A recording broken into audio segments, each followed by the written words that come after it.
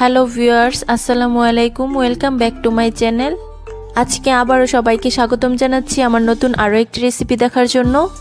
আজকের পর্বে আমি আপনাদের মাঝে শেয়ার করব ঝিঙে দিয়ে খুবই মজাদার একটি সবজি রেসিপি মাংসের স্বাদকেও হার মানাবে এই সবজি রেসিপিটি যেটা কিনা খেতে হবে অনেক মজাদার। চলুন তাহলে দেখে নেওয়া যাক রেসিপিটি আমি কীভাবে তৈরি করছি। ঝিঙের এই সবজি রেসিপিটি তৈরি করার জন্য আমি এখানে পাঁচশো গ্রামের মতো ঝিঙে নিয়ে নিয়েছি। আর আমাদের কিন্তু অবশ্যই এখানে কচি ঝিঙেগুলো নিতে হবে। প্রথমে আমাদের ঝিঙেগুলোর খোসা ছাড়িয়ে নিতে হবে। এই কাজটি আমি একটি পিলারের সাহায্যে করছি। আপনারা চাইলে কিন্তু বটি কিংবা অন্য কোনোভাবেও করে নিতে পারেন। বন্ধুরা, যারা আমার এই ভিডিওটি দেখছেন, প্লিজ চ্যানেলটি সাবস্ক্রাইব করে পাশে থেকে যাবেন। আর যারা সাবস্ক্রাইব করেছেন, তাদেরকে অসংখ্য ধন্যবাদ। বন্ধুরা দেখতেই পারছেন, আমার কিন্তু সবগুলো ঝিঙের খোসা ছাড়ানো হয়ে গিয়েছে। এখন আমি এই ঝিঙেগুলোর মাথার অংশটা আর পিছনের অংশটা হালকা করে কেটে ফেলে দিচ্ছি। তারপর আমি এগুলোকে একটু বড় সাইজ করে কেটে নিচ্ছি। ঝিঙেগুলো কিন্তু আমাদের পাতলা করে কাটা যাবে না, কেননা ঝিঙেগুলো কিন্তু এমনিতে নরম হয়। তাই প্রথমে বড় বড় টুকরো করে তারপর মাঝখান দিয়ে ভাগ করে নিচ্ছি। একই প্রসেসে আমি সবগুলো ঝিঙে কেটে নিব। দেখতেই পারছেন বন্ধুরা, আমার কিন্তু সবগুলো ঝিঙে কাটা হয়ে গিয়েছে। আর একটি ঝিঙের টুকরো আমি আপনাদের কাছ থেকে দেখিয়ে দিচ্ছি, কীভাবে আমি কেটে নিয়েছি সবগুলোকে। এখন এই টুকরো করা ঝিঙেগুলোকে আমি একটি মিক্সিং বলে নিয়ে নিচ্ছি।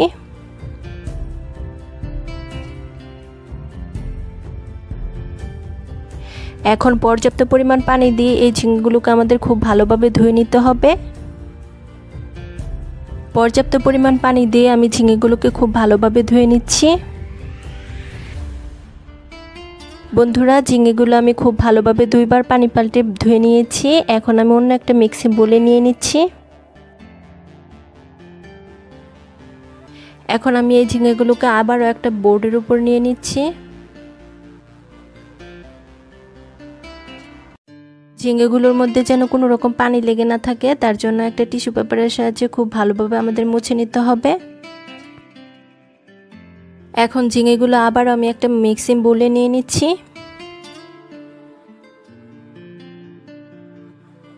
এখন আমি এই ঝিঙেগুলোর মধ্যে অ্যাড করে দিচ্ছি হাফ টেবিল চামচ মরিচের গুঁড়া।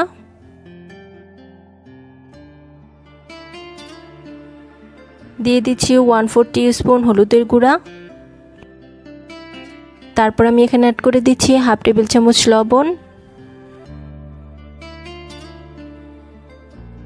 সব শেষ আমাদের এখানে অ্যাড করে দিতে হবে দু টেবিল চামচ বেসন। বেসন হাতের কাছে না থাকলে আপনারা এখানে এক টেবিল চামচের মতো ময়দা অ্যাড করে নিতে পারেন। আমি মেপে কিন্তু এখানে দু টেবিল চামচের মতো বেসন অ্যাড করে দিয়েছি। এখন হাত দিয়ে এই সব কিছু উপকরণগুলোকে ঝিঙের সাথে খুব ভালোভাবে আমাদের মিশিয়ে নিতে হবে। ঝিঙের সাথে আমার সব কিছু উপকরণ খুব ভালোভাবে মেশানো হয়ে গিয়েছে। এখন এই মিক্সিং বোলটা আমি একটা সাইডে পাঁচ মিনিটের জন্য রেস্টে রেখে দিচ্ছি। বন্ধুরা, এই রেসিপিটি তৈরি করার জন্য আমাদের একটি পেস্ট তৈরি করে নিতে হবে। তার জন্য আমি একটা মিক্সিং জারে নিয়ে নিচ্ছি দুটা মিডিয়াম সাইজের পেঁয়াজ টুকরো। তারপর আমি একটা বড় সাইজের টমেটো টুকরো করে কেটে তার মধ্যে অ্যাড করে দিচ্ছি। দিয়ে দিচ্ছি চার থেকে পাঁচটি কাঁচামরিচ। সবশেষে আমি এখানে অ্যাড করে দিচ্ছি হাফ ইঞ্চি পরিমাণ আদা, টুকরো করে কেটে দিয়ে দিচ্ছি। এখন আমি এই সব কিছুকে একসঙ্গে খুব ভালোভাবে মিহি পেস্ট করে নিব। দেখুন বন্ধুরা, আমার কিন্তু সব কিছু একসঙ্গে খুব ভালোভাবে মিহি পেস্ট করা হয়ে গিয়েছে। এখন আমি এই মিক্সিং জারটাও কিন্তু একটা সাইডে রেখে দেব। এখন আমাদের রেসিপিটি তৈরি করে নেওয়ার পালা, তার জন্য আমি চুলে একটা কড়াই বসিয়ে দিয়েছি। কড়াইটা গরম হয়ে গেলে তাতে আমি পর্যাপ্ত পরিমাণ তেল অ্যাড করে নিচ্ছি। তেল খুব ভালোভাবে গরম হয়ে গিয়েছে, এখন আমি ঝিঙেগুলো দিয়ে দিচ্ছি। একবারে সবগুলো ঝিঙে ভাজা যাবে না, আমি দুই বেচে ঝিঙেগুলো ভেজে নেব। ঝিঙেগুলোর একটি সাইড হয়ে গেলে উল্টে পাল্টে আমি খুব ভালোভাবে ঝিঙেগুলো ভেজে নিচ্ছি। বন্ধুরা, ঝিঙেগুলো আমার খুব ভালোভাবে ভাজা হয়ে গিয়েছে। এখন আমি একটা স্ট্যান্ডারের সাহায্যে খুব ভালোভাবে তেল ঝরিয়ে তুলে নেব।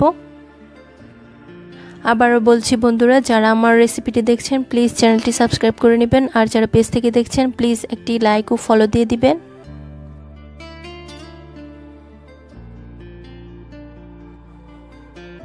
একই প্রসেসে সেকেন্ড বেচেও ঝিঙেগুলো আমি খুব ভালোভাবে ভেজে নিয়েছি। বন্ধুরা, সবগুলো ঝিঙে আমার খুব ভালোভাবে ভাজা হয়ে গিয়েছে। এখন এই তেলটা অন্য একটা পাত্রে ঢেলে রেখে এই কড়াইটা খুব ভালোভাবে পরিষ্কার করে নিচ্ছি। রেসিপিটি তৈরি করার জন্য চুলায় আবারও একটা কড়াইয়ে দিয়ে দিচ্ছি চার টেবিল পরিমাণ তেল। ফোড়নের জন্য আমি এখানে অ্যাড করছি একটি তেজপাতা, মাঝখান দিয়ে চিড়ে। তারপর আমি দিয়ে দিচ্ছি এক টেবিল চামচ আস্ত জিরা। তারপর আমি এখানে অ্যাড করে দিচ্ছি আগে থেকে করে রাখা আমাদের মশলার পেস্টটা এখন এই সব কিছুকে একসঙ্গে খুব ভালোভাবে তেলের মধ্যে নাড়াচাড়া করে নিচ্ছি।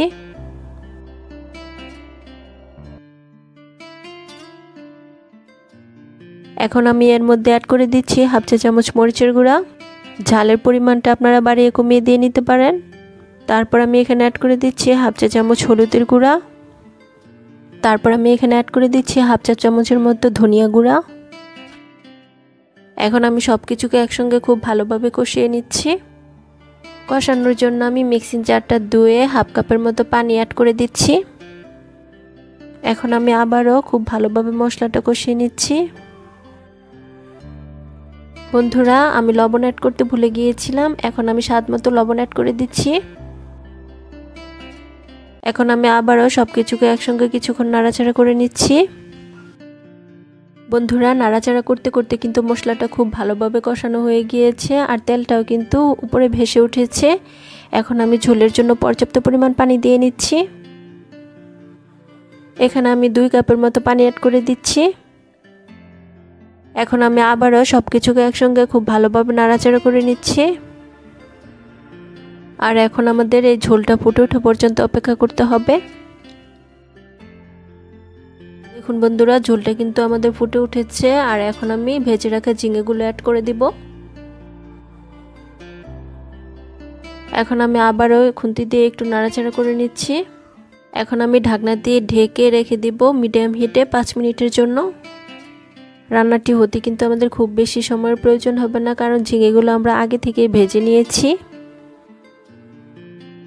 ফিরে এলাম পাঁচ মিনিট পর। বন্ধুরা রেসিপিটি আমার তৈরি হয়ে গিয়েছে আর দেখতে পারছেন, এটা দেখতে কতটা লোভনীয় হয়েছে।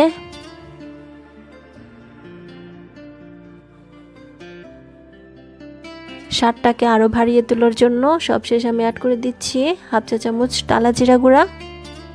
এখন একটু নাড়াচাড়া দিয়ে চুলার জালটা আমি বন্ধ করে দিব। ব্যাস, তৈরি হয়ে গেল ভিন্ন স্বাদের একটি ঝিঙের রেসিপি আজকের এই ঝিঙের রেসিপিটি ভিন্ন স্টাইলে দেখানোর চেষ্টা করেছি। আশা করছি আপনাদের কাছে অনেক ভালো লাগবে। জানাচ্ছি আমার নতুন আরও একটি রেসিপি দেখার জন্য। আজকের পর্বে আমি তৈরি করে দেখাচ্ছি কাঁকরুল আলু দিয়ে দুর্দান্ত স্বাদের একটি নিরামিষ রান্নার রেসিপি মাছ মাংসের স্বাদকে হার মানাবে এই কাঁকরুলের নিরামিষ রান্নার রেসিপিটি রেসিপিটি প্রথম থেকে লাস্ট পর্যন্ত দেখতে থাকুন। আশা করছি আপনাদের কাছে অনেক ভালো লাগবে। তাহলে চলুন দেখে নেওয়া যাক রেসিপিটি আমি কীভাবে তৈরি করছি। এই রেসিপিটি তৈরি করার জন্য আমাদের প্রধান উপকরণ লাগবে কাঁকরুল। আর এখানে আমি পাঁচশো গ্রামের মতো কাঁকরুল নিয়েছি। কাঁকরুলগুলো আমি মাথার সাইডটা আর পিছনের সাইডটা কেটে হালকা করে চেঁচে নিচ্ছি। সবগুলো কাঁকরুল আমি হালকা চেঁচে নেওয়া হয়ে গিয়েছে। এখন আমি এই কাঁকরুলগুলিকে মাঝখান দিয়ে দুটি ভাগ করে চিকন চিকন করে কেটে নিচ্ছি। বন্ধুরা, এই রেসিপিটি করার ক্ষেত্রে কিন্তু আমাদের অবশ্যই লক্ষ্য রাখতে হবে কাঁকরোলগুলো যেন কচি হয়, তাহলে কিন্তু রেসিপিটি খেতেও কিন্তু অসম্ভব মজার হবে। ঘরে অনেক সময় দেখা যায় মাছ, মাংস কিছুই থাকে না। তখন আমাদের যদি এরকম একটা নিরামিষ রান্নার রেসিপি করা হয়, তাহলে দেখবেন সবাই চেটিপুটি খেয়ে নেবে। সবগুলো কাঁকরোল আমি একইভাবে কেটে নিয়েছি। আর এগুলো একটু পাতলা করে কেটে নিতে হবে, তাহলে সিদ্ধ তাড়াতাড়ি হবে আর খেতেও কিন্তু অনেক ভালো লাগবে। দেখুন বন্ধুরা, সবগুলো কাঁকরোল আমার কাটা হয়ে গিয়েছে। এখন আমি এগুলোকে একটা মিক্সিং বোলে তুলে নিচ্ছি। এখন এই মিক্সিং বোলটা আমি একটি সাইডে রেখে দিচ্ছি। এই নিরামিষ রান্নার রেসিপিটি তৈরি করার জন্য আমাদের একটি আলু লাগবে, আর আলুটা খোসা ছাড়িয়ে নিয়েছি। এখন এই আলুটাকেও কাঁকরোলের মতো চিকন চিকন করে পাতলা করে কেটে নিচ্ছি। কেউ যদি আলু খেতে পছন্দ না করেন, তাহলে কিন্তু শুধুমাত্র কাঁকরোল দিয়ে এই নিরামিষ রান্নার রেসিপিটি করা যাবে, আর সেক্ষেত্রেও কিন্তু খেতে অসম্ভব মজার হবে। দেখুন বন্ধুরা, আলুটা আমার চিকন করে কেটে নেওয়া হয়ে গিয়েছে। এখন আমি এগুলোকে একটা ছোট মিক্সিং বলে তুলে নিচ্ছি।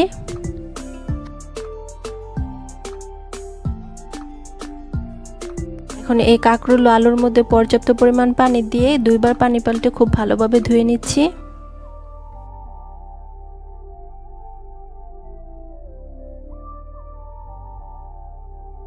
কাঁকরোলগুলো আমার খুব ভালোভাবে পানি পাল্টে ধুয়ে নেওয়া হয়ে গিয়েছে। এখন আমি একটা মিক্সিং বলে তুলে নিচ্ছি। কাঁকরোলগুলোর মধ্যে কিন্তু অবশ্যই কোনো রকম পানি থাকা যাবে না। খুব ভালোভাবে আমাদের পানিটা ঝরিয়ে নিতে হবে। এখন আমি এর মধ্যে কিছু মশলা অ্যাড করে নেব। ফার্স্ট টাইম দিয়ে দিচ্ছি হাফ চা চামচ হলুদের গুঁড়া। দিয়ে দিচ্ছি এক চা চামচ মরিচের গুঁড়া। দিয়ে দিচ্ছি হাফ চা চামচ লবণ। আর সবশেষে আমি দিয়ে দিচ্ছি দুই টেবিল চামচ বেসন। এখন আমি হাত দিয়ে কাঁকরুলের সাথে এই মশলাগুলো খুব ভালোভাবে মেখে নিচ্ছি। বন্ধুরা, এই পদ্ধতিতে একবার কাঁকরুল নিরামিষ রান্না করে দেখবেন। আশা করছি সবাই মাছ, মাংস ফেলে খাবে। দেখতেই পাচ্ছেন কাঁকরুল আলুর সাথে মশলা খুব ভালোভাবে মেখে নেওয়া হয়ে গিয়েছে। এখন আমি এই মিক্সিং বোলটা একটা সাইডে রেখে দিচ্ছি। কাঁকরোলের নিরামিষ রান্নার রেসিপিটি তৈরি করার জন্য আমাদের একটা মশলার পেস্ট তৈরি করে নিতে হবে। তার জন্য একটা মিক্সিং জারে নিয়ে নিচ্ছি দুইটা মিডিয়াম সাইজের পেঁয়াজ টুকরো। দিয়ে দিচ্ছি পাঁচটি রসুনের কোয়া। দিয়ে দিচ্ছি দুটি কাঁচামরিচ। সবশেষে আমি অ্যাড করে দিচ্ছি দু টেবিল চামচ সরিষা। আমি এখানে সাদা সরিষাটা ব্যবহার করছি, আপনারা চাইলে কিন্তু কালো সরিষাটাও ইউজ করতে পারেন। এখন অল্প পরিমাণ পানি অ্যাড করে এই মশলাগুলোকে মিহি পেস্ট করে নেব। বন্ধুরা, মশলাটা আমার খুব ভালোভাবে পেস্ট করে নেওয়া হয়ে গিয়েছে। এখন এই মিক্সিং জারটা একটা সাইডে রেখে দিচ্ছি। এখন আমাদের রেসিপিটি তৈরি করে নেওয়ার পালা, তার জন্য চুলে একটা কড়াই বসিয়ে দিয়েছি। কড়াই ভালোভাবে গরম হয়ে গেলে তাতে আমি দিয়ে দিচ্ছি চার টেবিল চামচ তেল। তেলটা যখন খুব ভালোভাবে গরম হয়ে যাবে, তখন আমি এর মধ্যে কাঁকরোলগুলো দিয়ে দিচ্ছি। রেসিপিটি তৈরি করার জন্য কাঁকরোলগুলো আমাদের হালকা করে ভেজে নিতে হবে। কাঁকরোলগুলো আমি করার মধ্যে খুব ভালোভাবে ছড়িয়ে দিচ্ছি, যেন সবগুলো খুব ভালোভাবে ভাজা হয়। প্রথমে আমি কাঁকরোলগুলো ভেজে নিচ্ছি, তারপর আমি আলুগুলোকে খুব ভালোভাবে ভেজে নেব। কাঁকরোলগুলোর একটি সাইড হয়ে গেলে উল্টে পাল্টে খুব ভালোভাবে ভেজে নিচ্ছি। বন্ধুরা, দেখতেই পারছেন, আমার কাঁকরোলগুলো খুব ভালোভাবে ভেজে নেওয়া হয়ে গিয়েছে। এখন আমি এগুলো একটা পাত্রে তুলে নিচ্ছি।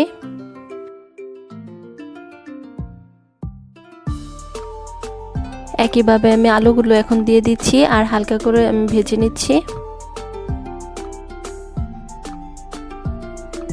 বন্ধুরা, আলুগুলো আমার খুব ভালোভাবে ভেজে নেওয়া হয়ে গিয়েছে আর আলুগুলো আমি এখন একটা প্লেটে তুলে নিচ্ছি। আলুগুলো আমার প্লেটে তুলে নেওয়া হয়ে গিয়েছে। এখন আমি আবারও এই কড়ার মধ্যে দিয়ে দিচ্ছি চার টেবিল চামচ তেল। তেলটা খুব ভালোভাবে গরম হয়ে গেলে এর মধ্যে আমি দিয়ে দিচ্ছি দুটি শুকনো মরিচ। দিয়ে দিচ্ছি এক টেবিল চামচ গোটা জিরে। এখন তেলের মধ্যে অল্প কিছুক্ষণ বেজে নিচ্ছি। এখন আমি অ্যাড করে দিচ্ছি আগে থেকে করে রাখা মশলার পেস্টটা এখন এই সব কিছুকে একসঙ্গে খুব ভালোভাবে ভেজে নিচ্ছি। পেঁয়াজ রসুনের কাঁচা স্মেলটা চলে যাওয়া পর্যন্ত আমাদের ভেজে নিতে হবে।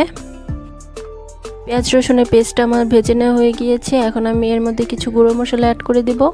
প্রথমে আমি অ্যাড করে দিচ্ছি স্বাদমতো লবণ। তারপরে অ্যাড করে দিচ্ছি এক চা চামচ মরিচের গুঁড়া, হাফ চা চামচ হলুদের গুঁড়া, হাফ চা চামচ টালা জিরা গুঁড়া, দিয়ে দিচ্ছি হাফ চা চামচ ধনিয়া গুঁড়া। এখন মিক্সিং চারটা ধুয়ে হাফ কাপের মতো পানি দিয়ে দিচ্ছি। এখন খুব ভালোভাবে নাড়াচাড়া করে মশলাটাকে খুব ভালোভাবে কষিয়ে নিচ্ছি। মশলাটাকে কিন্তু আমাদের খুব ভালোভাবে কষিয়ে নিতে হবে। আমি অফ স্ক্রিনে আরও একবার পানি দিয়ে খুব ভালোভাবে মশলাটা কষিয়ে নিয়েছি। উপরে তেল ভেসে ওঠা পর্যন্ত কিন্তু আমাদের মশলাটা খুব ভালোভাবে কষিয়ে নিতে হবে। বন্ধুরা, মশলা আমার খুব ভালোভাবে কষানো হয়ে গিয়েছে। এখন ভেজে রাখা কাঁকরোল, আলু দিয়ে দিচ্ছি। এখন এই সব কিছুকে একসঙ্গে খুব ভালোভাবে নাড়াচাড়া করে নিচ্ছি। আর এভাবে আমি মশলার মধ্যে তিন থেকে চার মিনিট মিডিয়াম টু লো হিটে খুব ভালোভাবে কষিয়ে নিচ্ছি। দেখতেই পাচ্ছেন বন্ধুরা, কাঁকরোলটা আমার খুব ভালোভাবে কষানো হয়ে গিয়েছে। এখন আমি এর মধ্যে পানি অ্যাড করে দিচ্ছি। এখানে আমি এক কাপের মতো পানি অ্যাড করছি। কাঁকরোল আলু যেহেতু বেজে নেওয়া হয়েছে, তার জন্য কিন্তু অর্ধেকটা সিদ্ধ হয়ে গিয়েছে। আর এই রেসিপিটা কিন্তু খুব বেশি ঝোল রাখা হবে না, মাখা মাখা করে রান্না করব। তার জন্য পানিটাও কিন্তু আমাদের বুঝিয়ে অ্যাড করতে হবে। এখন আমি একটা ঢাকনা দিয়ে ঢেকে দিচ্ছি দশ মিনিটের জন্য। ফিরে এলাম দশ মিনিট পর। বন্ধুরা, দেখতেই পাচ্ছেন ঝোলটা কিন্তু অনেকটাই কমে এসেছে। এখন আমি আবারও একটু নাড়াচাড়া করে নিচ্ছি। এখন আমি এর মধ্যে অ্যাড করে দিচ্ছি হাফ চা চামচ চিনি। যেহেতু নিরামিষ রান্না, তাই অল্প একটু চিনি ইউজ করেছি যাতে রান্নাটি খেতে আরও দুর্দান্ত হয়। রান্নাটি আমাদের হয়ে গিয়েছে। এখন আমি তুলে নেওয়ার পূর্বে অ্যাড করে দিচ্ছি হাফ চা চামচ টালা জিরা গুঁড়া।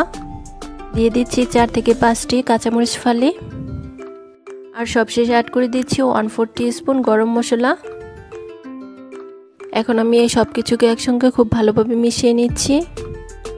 আর এরই মধ্যে কিন্তু আমাদের এই নিরামিষ রান্নাটি হয়ে গিয়েছে। সব কিছু মেশানো হয়ে গেলে চুলার জালটা আমি বন্ধ করে দেব। আর বন্ধুরা, দেখুন, এর গ্রেভিটা দেখতে কতটা লোভনীয় হয়েছে। এখন আমি এই রেসিপিটি একটা প্লেটে পরিবেশন করে দেখিয়ে দিচ্ছি। বন্ধুরা, রোজ রোজ কাঁকরোল একইভাবে রান্না না করে একদিন ভিন্ন স্টাইলে রান্না করে দেখুন, আশা করছি স্বাদ বলতে পারবেন না। আশা করছি আমার আজকের এই ভিন্নধর্মী কাঁকরোলের নিরামিষ রান্নাটি আপনাদের কাছে অনেক ভালো লেগেছে। রেসিপি ভালো লাগলে চ্যানেলটি সাবস্ক্রাইব করে দেবেন, আর যারা পেজ থেকে দেখছেন, একটি লাইক করে দেবেন। ধন্যবাদ সবাইকে, আল্লাহ হাফেজ।